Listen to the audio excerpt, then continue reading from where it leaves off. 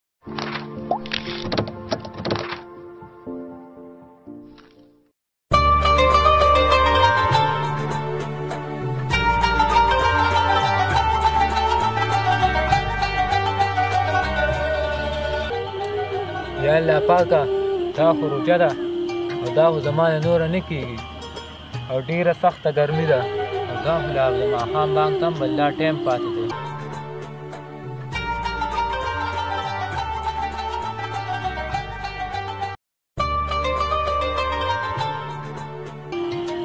نور برداشت زمانه نه کیږي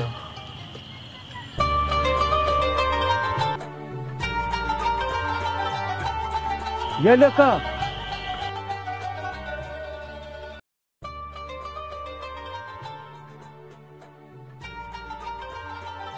یا لکه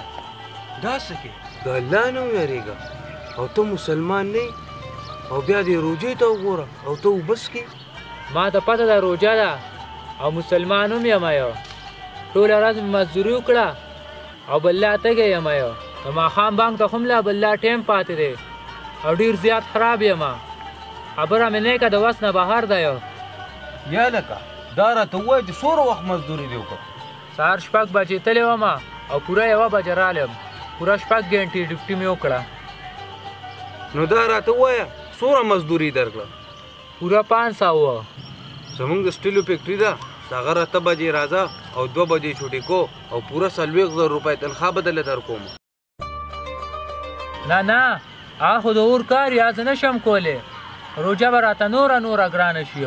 ته د دې جهان اور ته ځان نشې ټینګولی نو د هغې د جهان اور ته به څنګه ځان ټینګ کړې چې همیش همیش له به یې د ځان نه الله پاک خپه کې او شیطانان رضا کې.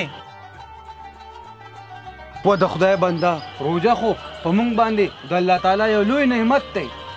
چې مونږ پکې ډېر عبادتونه وکړو او الله پاک ځان نه راضي کو